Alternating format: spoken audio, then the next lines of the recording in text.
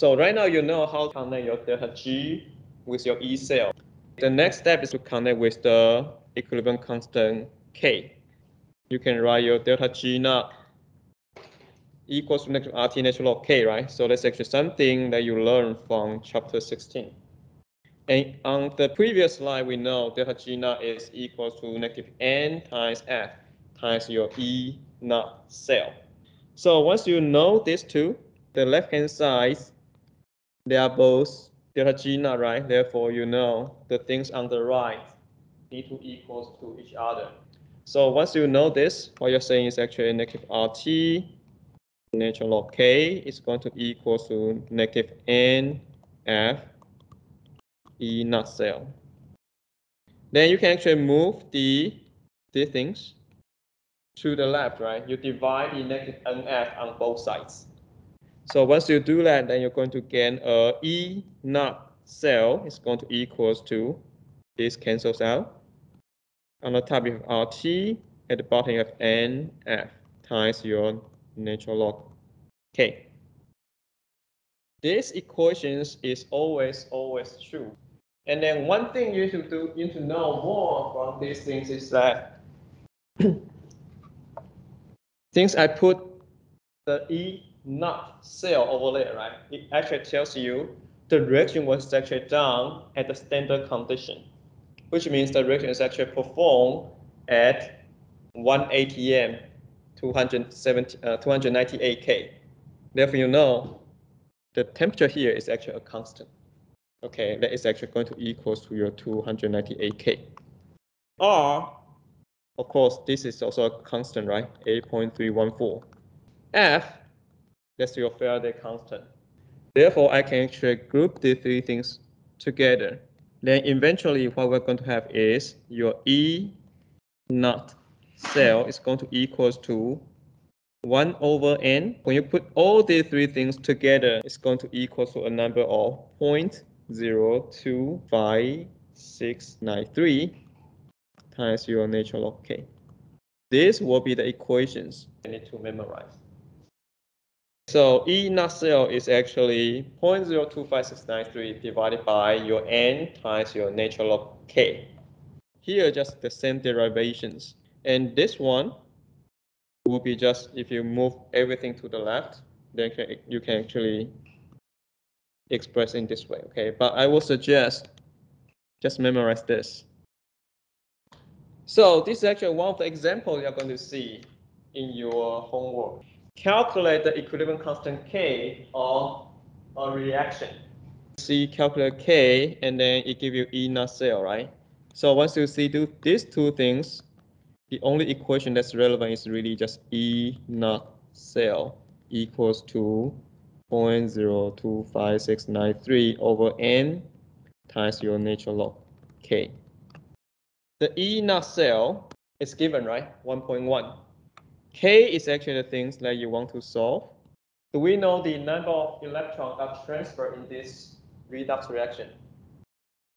It's two, right? We just go through this example in the previous slide. So we know the n is simply equals 2, right? Therefore, you know okay, 1.10 is going to equals to 0.025693 divided by 2 times your natural log k. Therefore, your natural log k is going to equals to 1.10 times 2 divided by 0.025693. Therefore, your k is going to equals to, this term is actually equals to 85.7. So your k is going to become exponential 85.7. That's going to give you a number of 1.5 times 10 to the 37. Right now, we know how the E naught cell is connected with your equilibrium constant K. The only thing that we haven't talked about is actually the Q. So again, we want to actually use another equations from chapter 16. Okay, your delta G can be connected to your E cell through delta G is going to equal to negative NF E cell. And then delta G naught is equal to negative NF E naught cell. So what we do now is we replace your delta G with this term, your delta G now with the second term. So that what we're going to have is that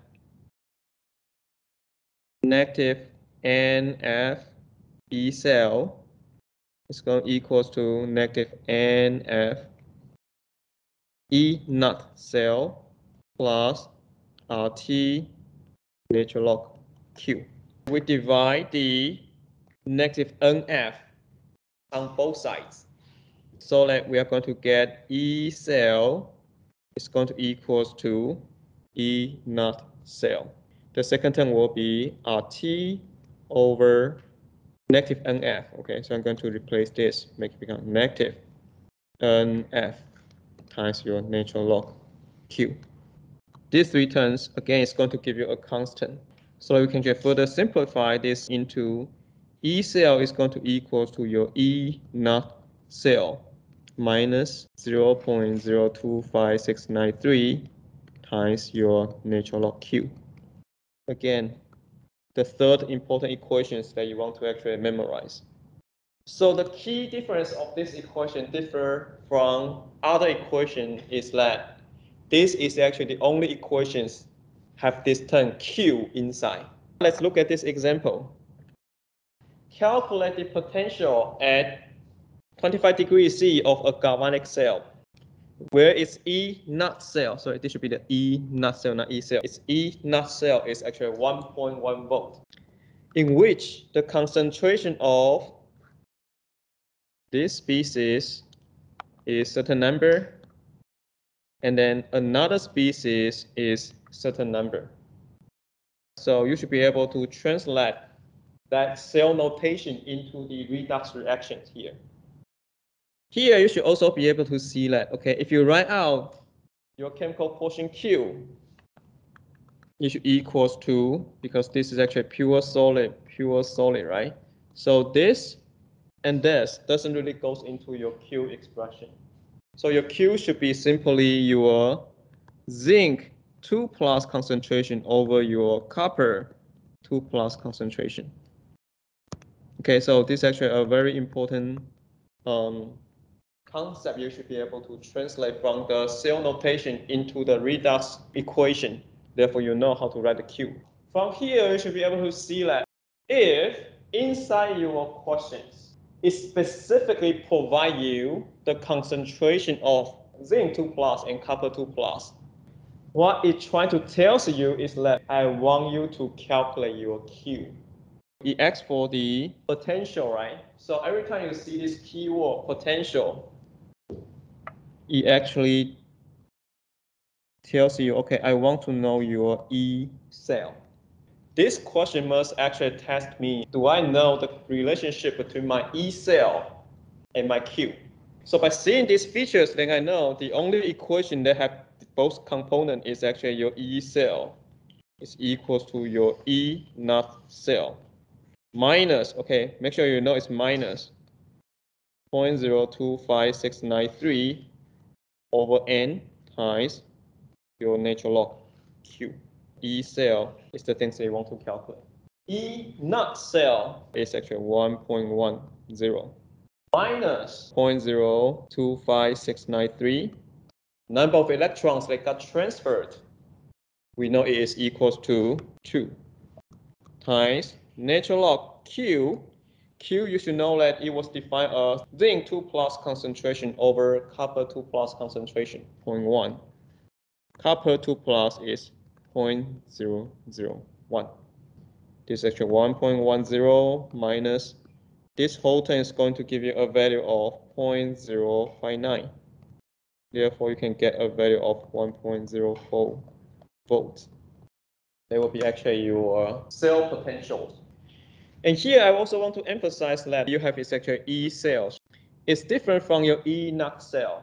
When you have your E naught cell, the concentration of your copper 2 plus equals to 1 n. Your zinc 2 plus equals to 1 n. So under the case, you're going to have your Q equals to 1. Therefore, the natural log 1 equals 0. Therefore, your E cell is going to equal to your E naught cell.